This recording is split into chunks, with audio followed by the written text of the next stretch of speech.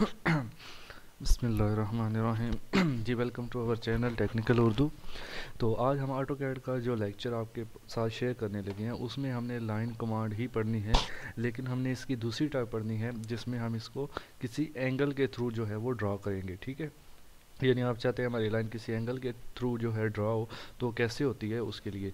इसको हम relative polar method भी कहते हैं। तो चलिए देखते हैं ऑटो कैड पे चलते हैं और देखते हैं कि ये कैसे होती है। तो सबसे पहले आपने करना ये है कि आपने एक लाइन कमांड लेना है एल एंटर करते हैं। या आप इधर से भी लाइन कमांड को यूज़ कर सकते हैं, ठीक है?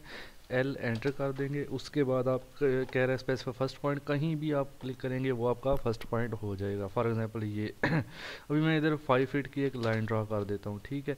उसके बाद मैं चाहता हूँ मैं एक टेन फीट की लाइन ड्रा करूँ, लेकिन वो लाइन मेरी फोर्टी फाइव के एंगल पर ड्रा हो, ठीक है? तो उसके लिए क्या है तो आपको एक मैं कमांड बता देता हूँ, वो आप नोट कर लें। मैं इधर वर्ड में टाइप कर देता हूँ।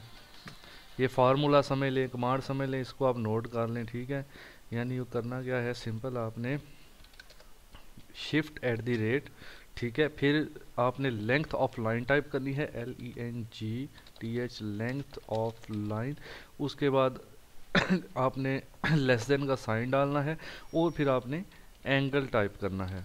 जो भी एंगल है. For example shift at the rate मैं टेन फिट लाइन लगानी है. टेन फिट लेस देन इसमें मैं कर दूँगा फोर्टी फाइव तो एंटर कर दूँगा तो मेरे पास जो दस फिट की लाइन लगेगी वो पैंतालीस के एंगल पर लगेगी. तो चलिए यहाँ से इसको ट्राई करते हैं. वापस अपने ऑटो गेट पर चलते हैं. तो शिफ्ट एट द रेट ठीक है? शिफ्ट एट द रेट उसके बाद हम यहाँ पे क्या था? लाइन की लेंथ टेन फिट फिर लेस देन ठीक है लेस देन कितना? 45 डिग्री 45 करके आप एंटर कर देंगे।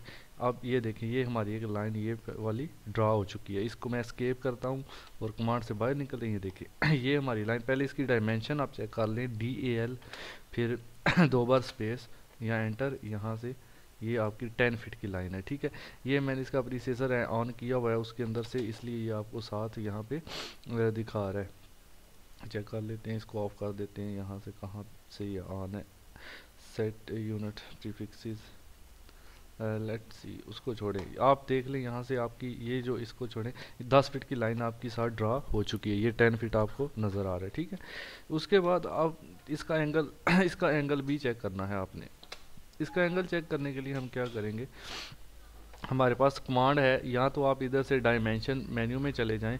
यहाँ पर कमांड होगी एंगुलर के नाम से, ये। एंगुलर ठीक है? यहाँ फिर आप इसको क्लिक कर दें डायमेंशन में जाके एंगुलर पे। अगर ये डायमेंशन नहीं नज़र आ रही तो ये एरो है। इसको क्लिक करें, इसके नीचे यहाँ पे show and hide menu bar का ऑप्शन है, उसको क्लिक करना है आपने। तो सबसे पहले मैं कमांड बार में टाइप डायमेंशन चेक करने के लिए टाइप करता हूँ एंगल की। ये आप नोट कर लें एंगल डायमेंशन के लिए जो कमांड होगी, वो होगी dim angular okay dimension angular यानी एंगल की डिम एंगुलर ये मैंने पहले भी करवाई हुई है डिस्क्रिप्शन में सारी वीडियोस की लिंक मौजूद है, आप वहाँ से देख सकते हैं। तो यहाँ पे आके टाइप करते हैं जी।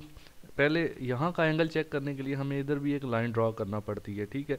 वैसे हम वैसे भी कर सकते हैं, चलें वैसे करके देख लेते हैं। D I M dim A N G U L A R dim angular दोबारा टाइप करते हैं, ये फिर वही एरर इसके अंदर सॉफ्टवेयर में आ रहा है। तो ये सोल्यूशन मैंने उस दिन भी बताया था। ये असल में ऐसा रजिस्टर्ड नहीं है। इसकी वजह से ये एरर एरर जो है आ जाता है। इसको दोबारा ओपन कर लेते हैं। चलिए, ये प्रोसीजर हमें थोड़ा सा शुरू से दोहराना पड़ेगा। पहले एक लाइन ड्रा की एल एंटर फाइव फिट की। ये भी क्लोज कर दो। एल एंटर फाइव फीट उसके बाद फिर वही शिफ्ट एट दी रेट उसके बाद ten feet less than forty five enter तो अब हमने एंगल चेक करना है. D I M dim angular इसके लिए कमांड है. अच्छा ये मैं इसको एक बार पेयर कर लूँ, उसके बाद मैं दोबारा वीडियो को यहाँ से स्टार्ट करता हूँ, ठीक है? जी तो यहाँ पे फिर देखें, दोबारा भी मैंने इस लाइन को मैंने 45 के एंगल पे लगाना है। तो इसके लिए मैं यहाँ से क्या करूँगा शिफ्ट एट द रेट उसके बाद 10 फिट लेस देन 45 एंटर ये लग गई, अब एंगल चेक करना है, उसके लिए D I M dim A N G U L R dim angular मैंने आपको बताई है, इसको क्लिक करें। फिर इस लाइन को सिलेक्ट करके आप इस लाइन को सिलेक्ट करें। तो यहाँ पे देखें, ये 45 का एंगल आपको इधर से दिखाएगा। ठीक है? यानी ये एंगल आपका 45 का है।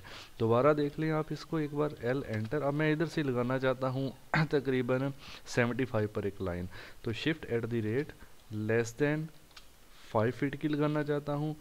सॉरी लेस देन नहीं, इसको दोबारा करते हैं। L enter shift at the rate यहाँ पे फाइव फीट की लाइन होगी। और किस एंगल पर होगी? लेस देन 75 के एंगल पर होगी एंटर ये लग गई हमारी।